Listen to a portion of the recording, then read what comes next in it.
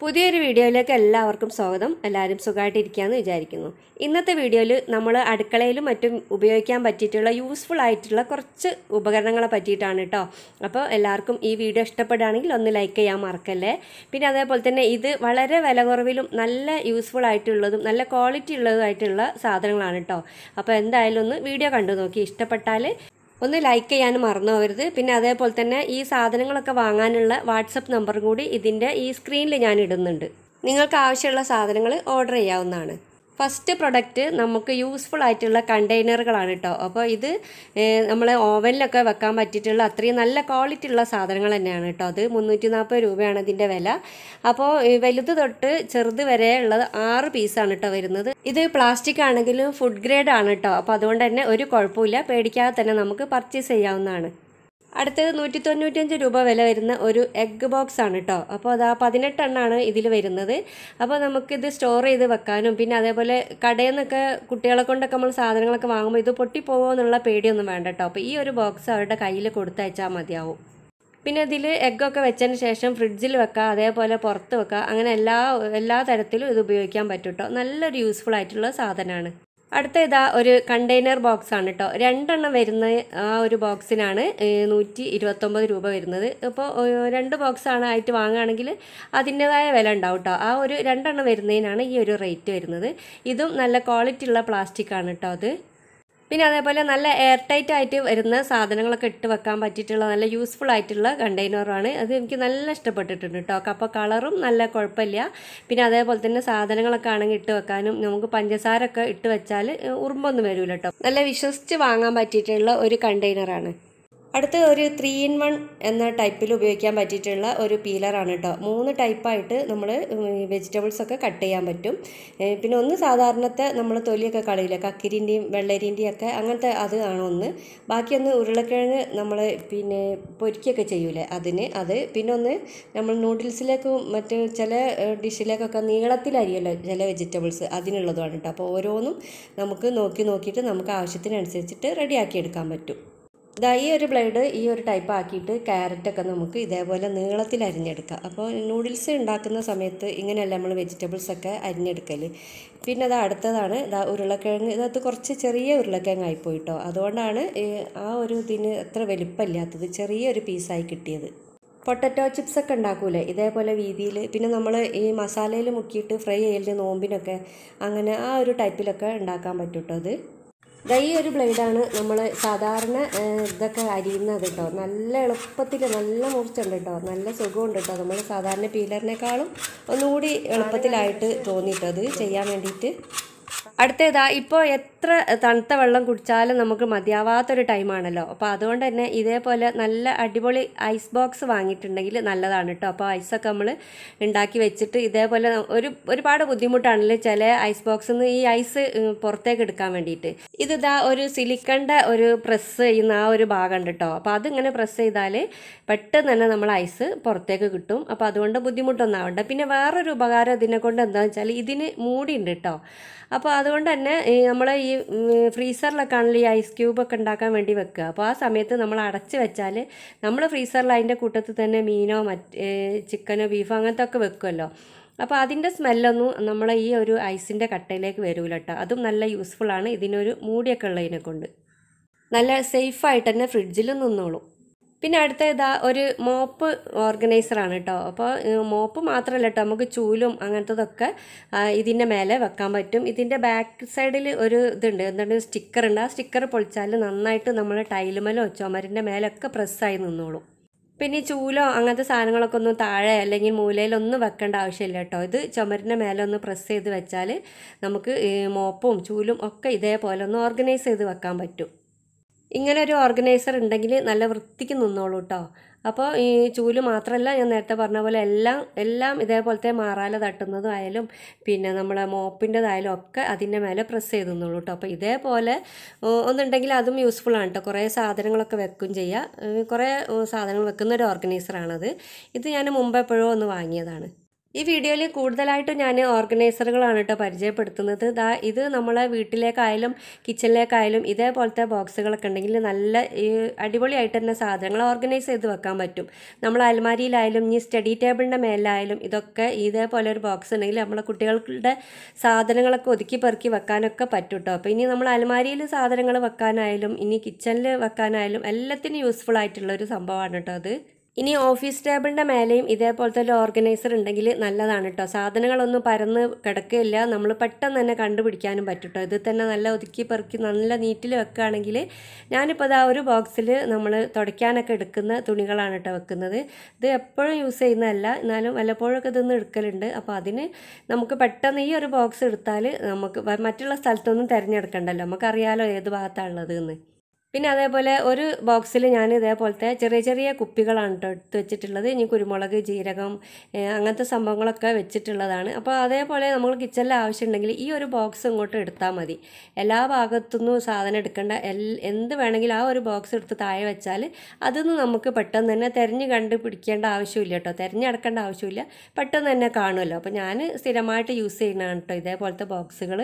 ഓയിലും വെളിച്ചെണ്ണയൊക്കെ ഞാൻ ഇങ്ങനെ ഓർഗനൈസ് ചെയ്ത് വെച്ച ആ ഒരു ബോക്സ് മുമ്പത്തേത് വളരെ ചെറുതായിനി. അപ്പോൾ ഇതിപ്പോൾ അത്യാവശ്യം എല്ലാ സാധനവും തിക്കി വെക്കാതെ തന്നെ നല്ല രീതിയിൽ വെക്കാൻ പറ്റും കേട്ടോ അതാ ഞാനിതാ ഈ നെയ്യ് ഓയിൽ വെളിച്ചെണ്ണ പിന്നെ അതേപോലെ എണ്ണ അങ്ങനത്തെ സാധനങ്ങളൊക്കെയാണ് കേട്ടോ ഇതിൽ വെച്ചിട്ടുള്ളത്. അടുത്ത സാധനം നല്ല അടിപൊളിയാണ്. സൂപ്പർ എന്താ ഡൂപ്പർ അങ്ങനെയൊക്കെ വേണമെങ്കിൽ പറയാം കേട്ടോ. ഒരു ഡിഷ് വാഷ് ഡിസ്പെൻസറാണ് കേട്ടോ അത്. ഞാൻ ഇത് കിച്ചണിലൊക്കെ നമ്മൾ പാത്രങ്ങളൊക്കെ കഴുകാൻ വേണ്ടിയിട്ട് ലിക്വിഡൊക്കെ ഇതിലേക്ക് ഒഴിച്ചു കൊടുക്കാൻ പറ്റും കേട്ടോ. ഡബിൾ ലെയർ ആയിട്ടുള്ള ആ ഒരു ഇതാണ് വന്നിട്ടുള്ളത്. അത്യാവശ്യം നല്ല ക്വാളിറ്റി ഉള്ള തന്നെയാണ് കേട്ടോ. അപ്പോൾ ഞാനിപ്പോൾ അതാ യൂസ് ചെയ്തിട്ട് ഇപ്പോൾ ഒരു ഒന്ന് രണ്ട് ആഴ്ചകളായിട്ടോ നല്ല യൂസ്ഫുൾ ആണ്. എനിക്ക് നല്ല ഇഷ്ടപ്പെട്ടിട്ടുണ്ട് ഇനി.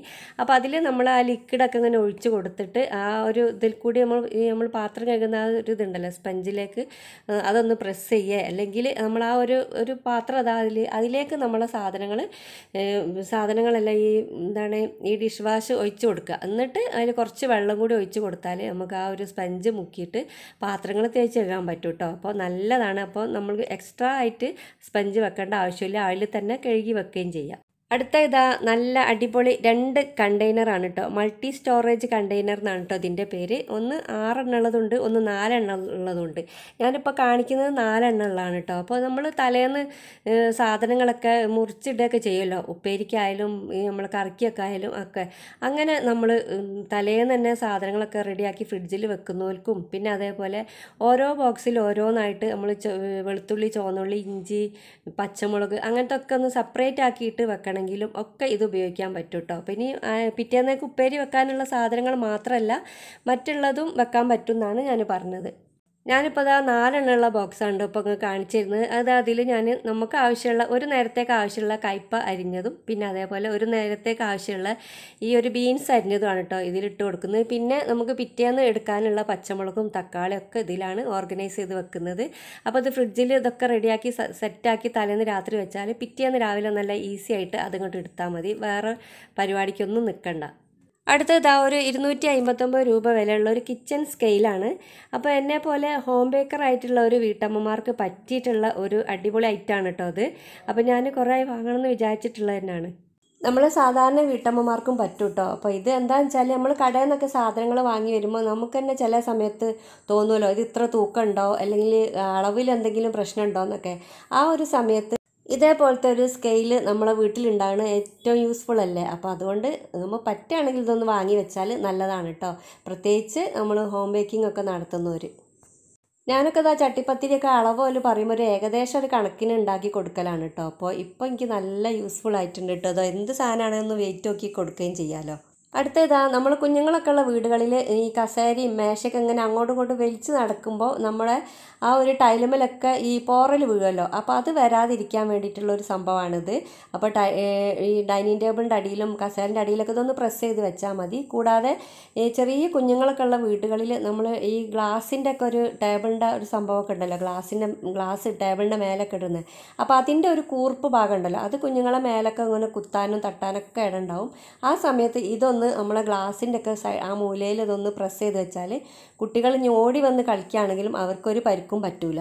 അടുത്തത് നമ്മുടെ ബാത്റൂം ഒക്കെ ക്ലീൻ ചെയ്യാൻ പറ്റിയിട്ടുള്ള ഒരു ബ്രഷാണ് കേട്ടോ അത് ഏറ്റവും യൂസ്ഫുൾ ആയിട്ടുള്ളത് ഈ യൂറോപ്യൻ ക്ലോസറ്റിന്റെ ആ ഒരു പിന്നെ ടാങ്ക് ഉണ്ടല്ലോ. ആ ടാങ്കിന്റെ അടിഭാഗമൊക്കെ ഒന്ന് വൃത്തിയാക്കി എടുക്കാൻ വേണ്ടിയിട്ടുള്ളതാണ്.